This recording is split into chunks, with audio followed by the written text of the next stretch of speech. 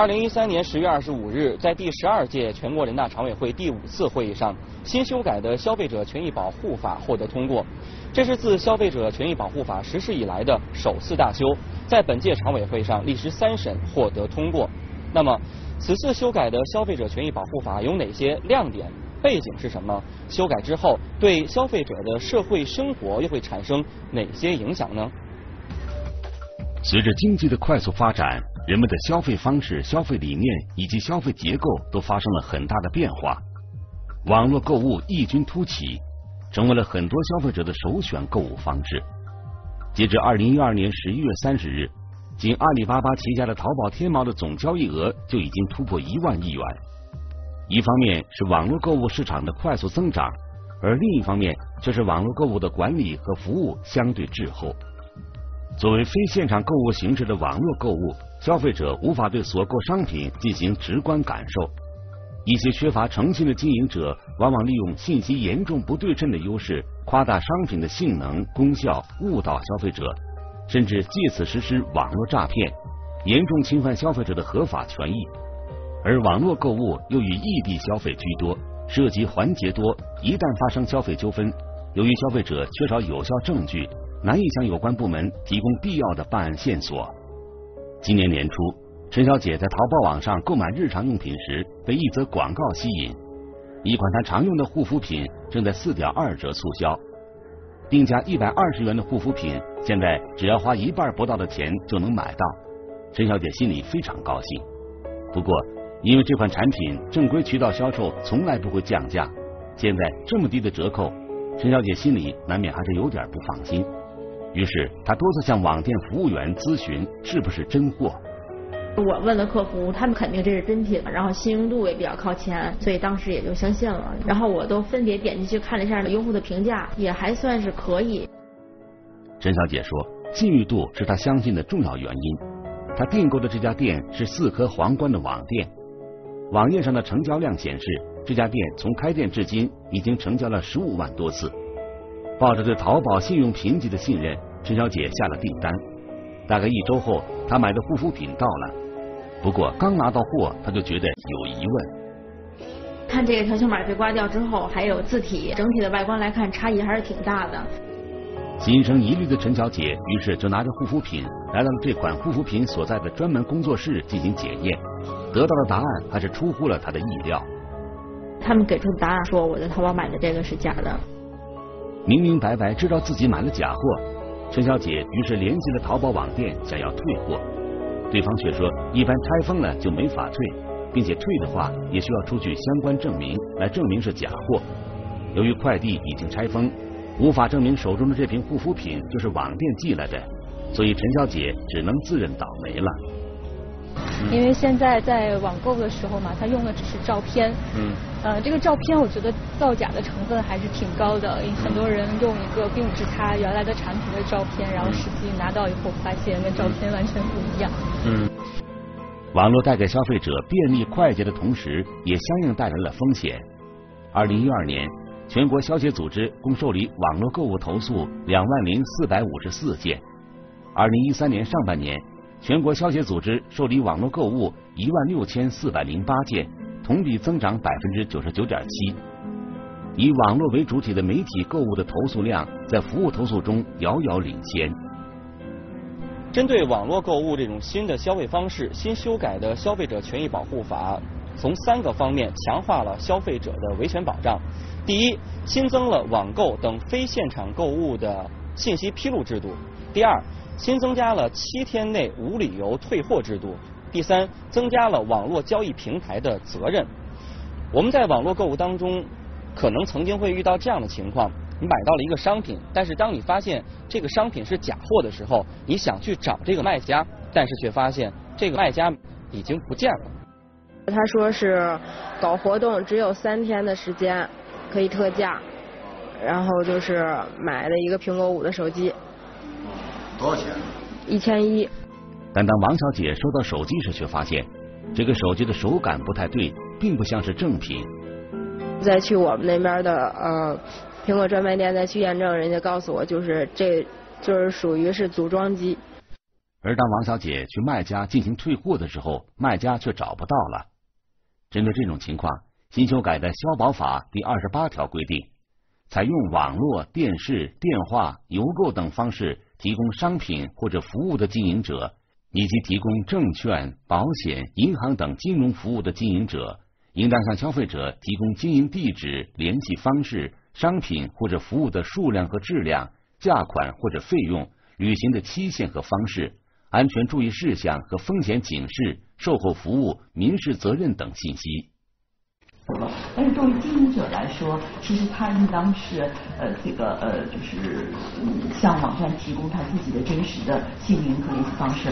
一两这一两年间，我们也进一步的增加了淘宝认证。那么至于说对于呃这个呃可能会有一些伪造自己的身份，因为大家可能也会收到一些这种诈骗短信啊之类的，这个行为可能我们是下一步我们是需要继续跟公安有关的这些部门去合作。网络平台代表认为，虽然网站一直都在对经营者进行认证，但并不能完全杜绝身份造假等问题。而新修改的消保法第四十四条规定。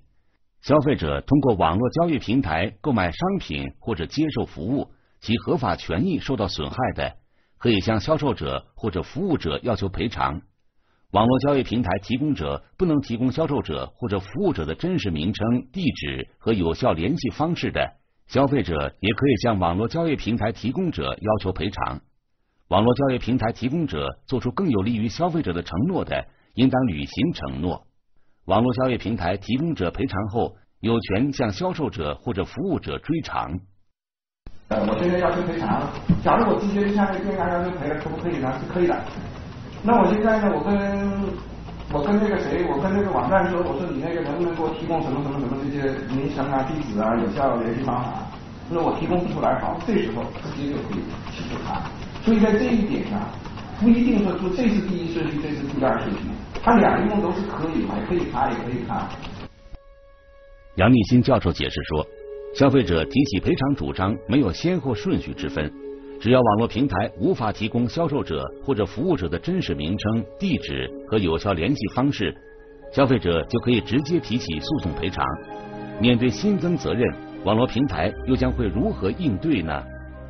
就是这一条肯定是给这个电商的平台企业呃增加了。呃，增加了责任，也增加了这个经营风险，呃，运营成本呢也会有所提高，呃，这个是风，这个是风险是增加了，责任增加了，呃，所以呢，这个审核将来就是说，电商平台呢可能在这一块呢，呃，审核会更加严格，会投入更多的人力物力去这个切实保障这个消费者的权益。相信很多网购的消费者都曾经遇到过这样的问题：在网上买了一件衣服，发现大小不合适。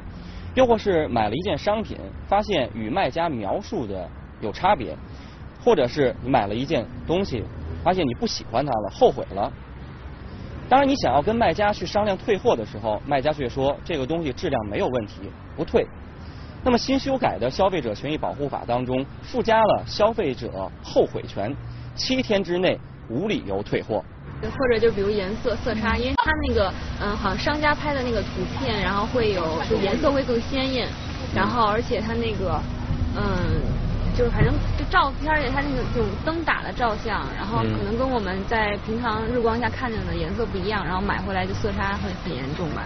对，还有大小问题，有的时候各个号不不太一样，然后卖家就会说我们已经写上啦，手工测量，什么误差难免，那这种问题就是。可能自己就哎算了吧，也没有多少钱，就送给亲戚朋友了。新修改的消保法第二十五条规定，经营者采用网络、电视、电话、邮购等方式销售商品，消费者有权自收到商品之日起七日内退货，且无需说明理由。但下列商品除外：一、消费者定做的；二、鲜活易腐的；三。在线下载或者消费者拆封的音像制品、计算机软件等数字化商品；四、交付的报纸、期刊，除前款所列商品外，其他根据商品性质并经消费者在购买时确认不宜退货的商品，不适用无理由退货。消费者退货的商品应当完好，经营者应当自收到退回商品之日起七日内返还消费者支付的商品价款。退回商品的运费由消费者承担，经营者和消费者另有约定的按照约定。对其他不适宜退货商品，它是有两个条件，一个就是什么呢？本身商品性质是不予退的。第二个什么呢？如果说你消费者的经营者认为它不一，根据商品性质不宜退，那么你在设定程序的时候，你一定要设定一个程序，就是什么呢？要求消费者购买确认。那么在确认的时候，这个程序，这个大家买东西的，大家在网上都买过东西哈，嗯，比如说有时候我们买到最后，他一定要来确认一下。那么就是这个时候有两种结果，一种结果什么呢？消费者对你单方认定的消费那个商品性质不予退货不认可，他可能就不确认。那不确认就有两种结果出现，一个就是这个交易就都无法完成了，就是这个交易进行不下去了，啊，就是我们这个交易有可能就就在这儿就停下来。那么如果是这样的话，那就不存在退不退货的问题了，因为消费者根本就就拿不到东西了嘛。这是第一种情况。第二种情况是什么呢？作为经营者，就是你即使不确认，那我也会让交易进行下去。那么经营者你就要权衡一下，就这种风险你愿愿不愿意承担？愿不愿意承担？因为什么？因为消费者没有认可，那么你让他交易进行下去。那如果说事后消费者要退货的话，你必须要接受他的退货。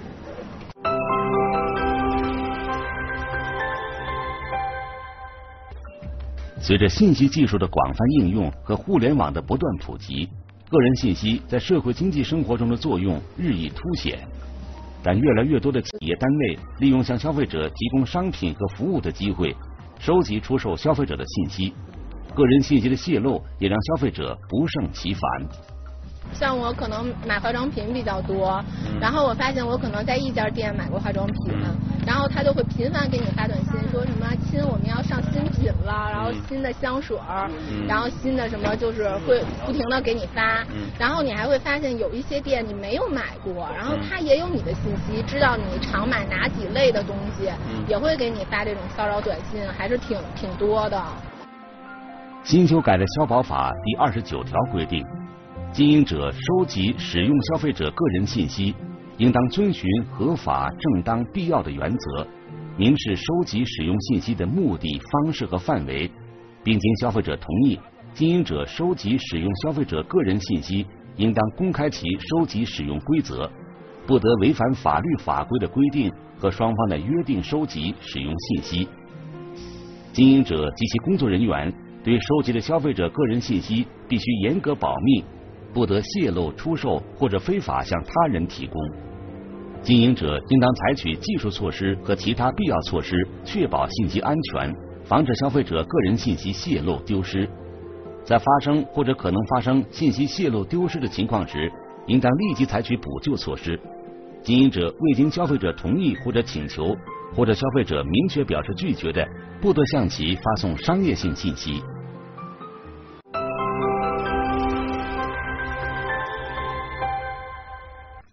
与经营者相比，消费者在时间、精力、经济实力以及专业知识等方面都处于明显的劣势，单个消费者维权非常的困难。为了进一步解决消费者维权难的问题，新修改的消费者权益保护法在消费者协会的组织性质上进行了全新的定义，并且赋予了消费者协会全新的职责，进一步发挥协会的作用，通过组织力量来帮助消费者维权。中国消费者协会和各地消协组织二十年来，共受理消费者投诉一千二百三十六万件，解决率百分之九十四点七，为消费者挽回损失一百一十八点五亿元，对消费者维权起到了重要作用。新修改的消费者权益保护法赋予了消费者组织公益诉讼权，由原来只能支持消费者起诉，到可以代表消费者进行公益诉讼。法律第四十七条规定，对侵害众多消费者合法权益的行为，中国消费者协会以及在省、自治区、直辖市设立的消费者协会，可以向人民法院提起诉讼。消费者在维权过程中面临的一个重要难题就是举证难。按照法律的一般原则，谁主张谁举证，消费者在维权过程中要承担举证责任。由于一些商品和服务技术含量高，消费者维权困难。新修改的消保法规定，对部分商品和服务的举证责任进行倒置，消费者不用承担举证责任，避免了鉴定难、成本高、不专业等难题。这一规定有助于增强企业产品担保责任意识，减轻消费者的举证责任。法律第二十三条规定，经营者提供的机动车、计算机、电视机、电冰箱、空调器、洗衣机等耐用商品或者装饰装修等服务，自消费者接受商品或者服务之日起六个月内出现瑕疵、发生争议的，由经营者承担有关瑕疵的举证责任。消费者权益保护法的这次修改，还在规范经营者的义务、增加经营者违法成本上做出了新的规定。据了解，新修改的消费者权益保护法将在二零一四年的三月十五日正式实施。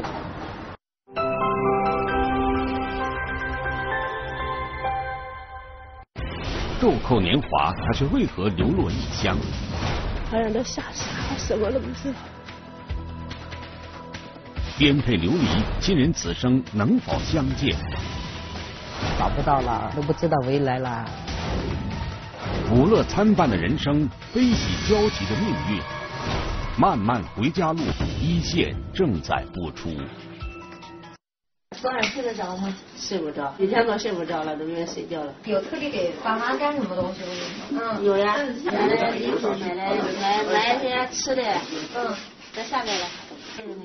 二零一三年一月十九日凌晨，天还没有亮，从安徽遂溪赶来长沙的任印忠、李长娇夫妇便开始忙碌起来。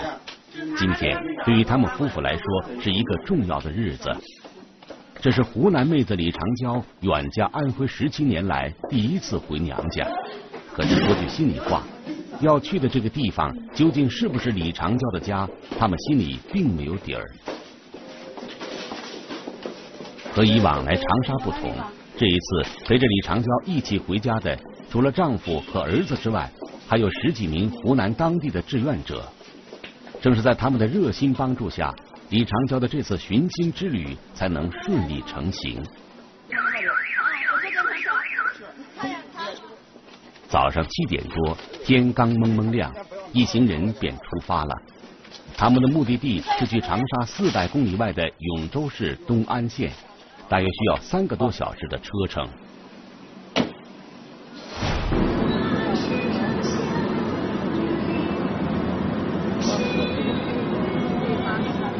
一路上，李长娇目不转睛地盯着车窗外，努力想从沿途的景致中找出一点记忆中熟悉的家乡的影子，但最终她还是失望了。从安徽的遂溪到湖南的东安，路途并不算遥远。李长江为什么十七年一次都没有回过家呢？他是怎么和家人断了联系的呢？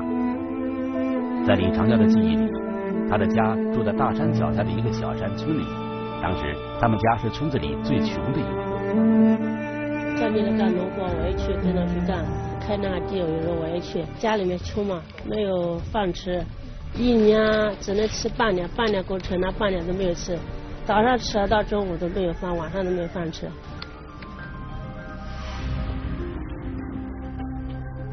由于家贫，李长娇十岁才上小学，可是上了不到一年，还没有认识几个字，就由于交不上学费，被迫辍学了。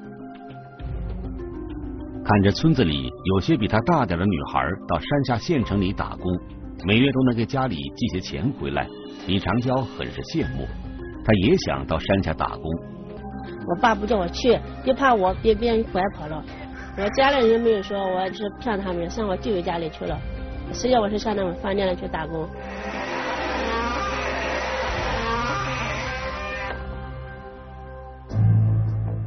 就这样，李长娇和家人不辞而别。可是年幼的他绝不会想到。这一别就是十七年。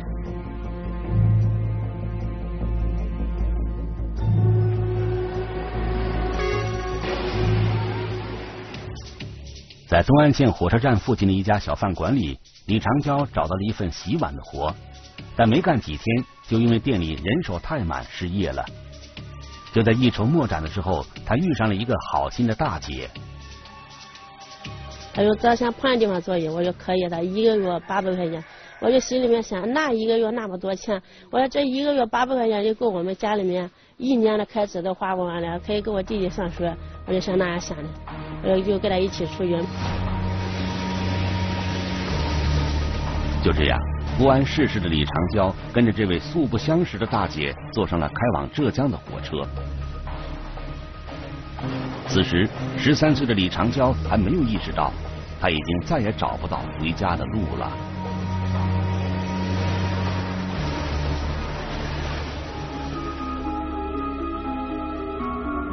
而此时，在烟竹村，女儿的失踪给两位老人带来了巨大的打击。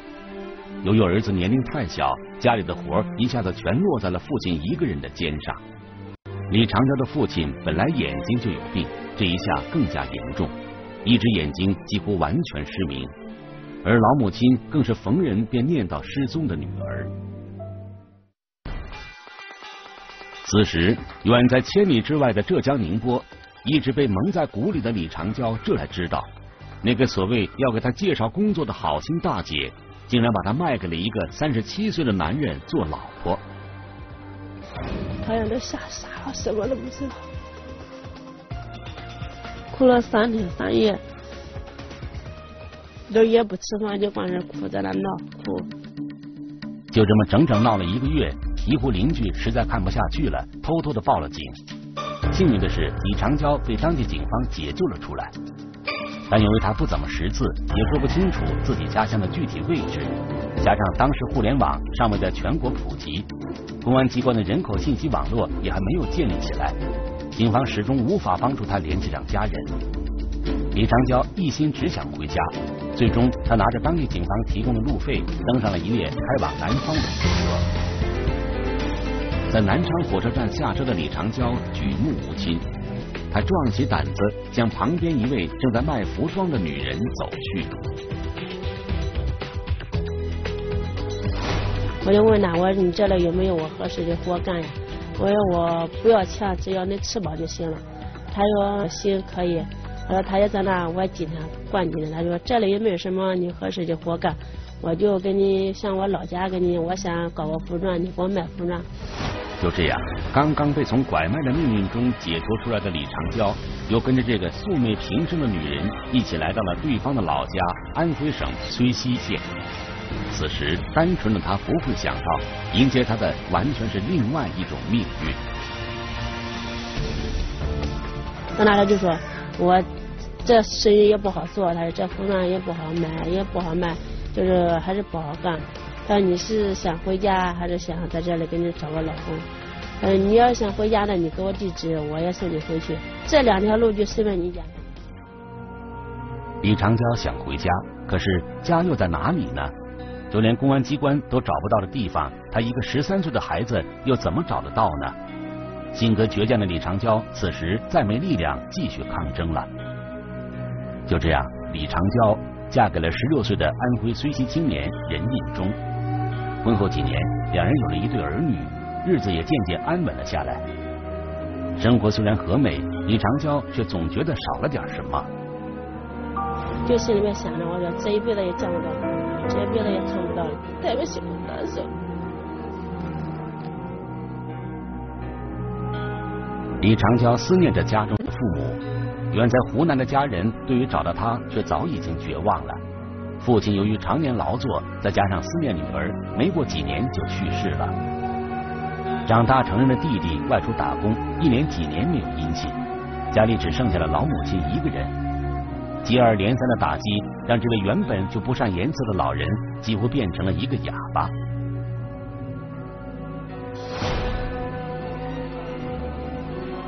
而此时，远在安徽的李长娇却正在和丈夫一起努力的寻找着家乡的信息。由于当时被拐卖时，李长娇岁数太小，只依稀记得自己是湖南人，住在一个叫茶园乡的烟竹村的小山村里。但至于是哪几个字、怎么写，她也说不上来。仅凭这点信息，要想找到自己生活的村子，无异于大海捞针。他说他家里是哪里哪里的，然后我就给他打了这个快件过来了嘛。打了快件过来，他打过来一个第一个快件的话不对嘛，不对的话，我就在那个地图上给他查查看那个属于查源属于离哪个最近嘛，我肯定还要打快件过来的，打了两次过来的话就是都返回去了嘛。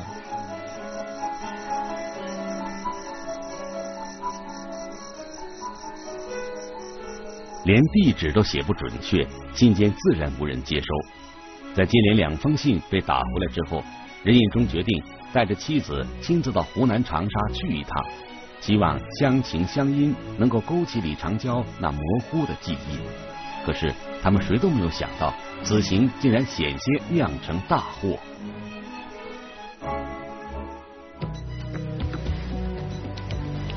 当火车驶进长沙，离家乡越来越近时，几年前自己被拐卖的那一幕便越来越清晰地浮现在李长娇眼前。在强烈的精神刺激之下，他甚至产生了幻觉，行为一下子失常了，就有点生病了。他拿那个头去撞那个火车那个玻璃，谁都不认，我自己小孩我都不认了。在医院里住了一个多月。李长江的病情才渐渐有所好转。反正我我们也同情他他这个身世嘛。找家这一块的话，我们就是我的我们家人也支持，反正也就是给他找了家。可以说每年都可以说出去打工就打听，边打工边找家边打听，就这样。就是这有打工有没有问是哪里的，是湖南的我就问一下有没有听说过有茶园县研究村的。尽管这么多年来，一家人用尽了办法帮助李长娇找寻家人，可是天不遂人愿，回家仍然是一个遥不可及的梦。刘水红，网名止水，人印中的表姐，在北京居住。为了帮助弟妹找到亲人，她从二零零八年就不断的在网上发帖寻求帮助，但一直没有结果。二零一二年十一月初，刘水红在网上意外的发现了一个名叫“宝贝回家”的网站。这是一个由民间志愿者组织创办的公益性网站，专为那些离散家庭提供寻亲方面的帮助。抱着试试看的心情，刘水红在这家网站上登记了李长娇的寻亲信息。二零一三年一月十三日，“宝贝回家”寻亲活动在长沙举行。长沙当地多家媒体都对这次活动进行了报道。任印忠、李长娇夫妇特地从安徽赶了过来，他们苦苦寻亲十七年的辛酸经历，也通过媒体为众多市民所了解。新闻啊，在六点半播完以后啊，就是他一个邻居在长沙啊做生意的，他就听到李长娇的那个介绍和一些情况，就想起他们村里面有一个女孩。曾经走丢过一个女孩，然后这个邻居就刚好认识他的表哥，是村支书，就看完以后就跟他表哥打电话。最开始还不大相信，十十多年以前子我们村只是走了一位，我我的表妹，我他他他什么名字啊？我把家里面的情况发信息过去。二零一三年一月十七日，任印忠、李长娇夫妇从长沙回到安徽后的第五天。他们接到了百合发来的短信，上面还附着一位老人的照片，那是一张身份证照片。只看了一眼，李长娇就僵住了。是的，我这是我妈，我样子还是那样，就是老了，难受。那一天晚上都没有睡觉。第二天，李长娇和丈夫任应忠再次踏上了奔赴湖南的路程。这一次，他们能否如愿以偿呢？流落异乡十七载，被拐女终于踏上回家路。是，我要早一点呢，两千年也有这个活动，宝贝回家，我可以说早点找到我妈。离家时的懵懂少女，归来时却早已历尽沧桑。母女相拥的一刻，绵绵思念竟化作喜悦的泪水。漫漫回家路，一线正在播出。在长沙火车站。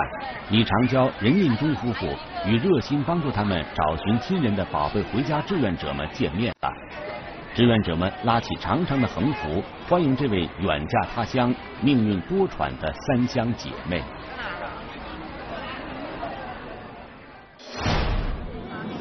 随着车子离家乡越来越近，李长娇的心里五味杂陈。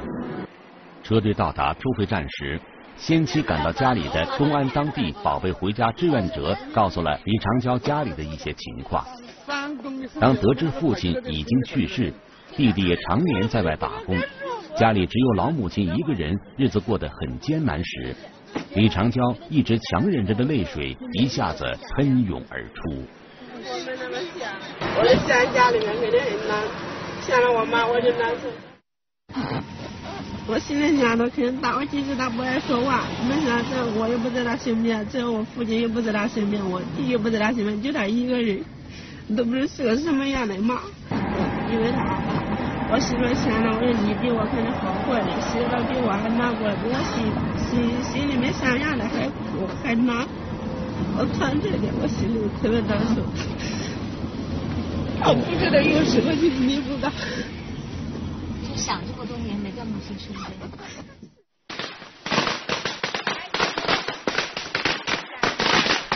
车子终于在村头停下了。面对眼前这个十七年来魂牵梦绕的小山村，李长娇百感交集。儿时的记忆一点一点的在李长娇的脑海中复苏了。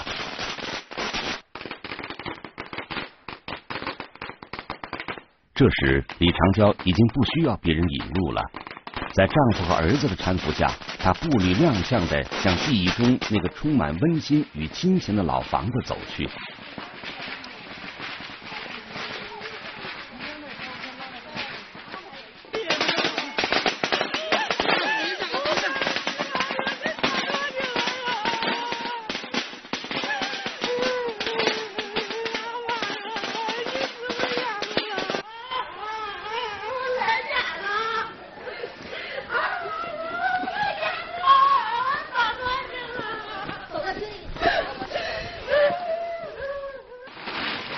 这时，六十五岁的老母亲早已在乡亲们的簇拥下守候在了老屋前的院子里。直到此时，她还有些不敢相信，这个已经失去十七年的女儿真的回来了。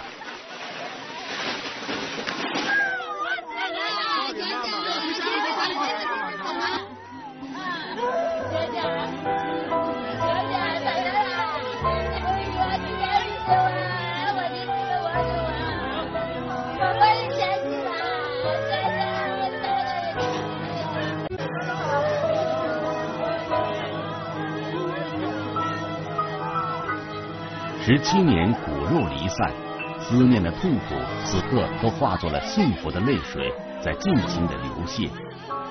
此情此景，让每一个在场的人都禁不住如湿了眼眶。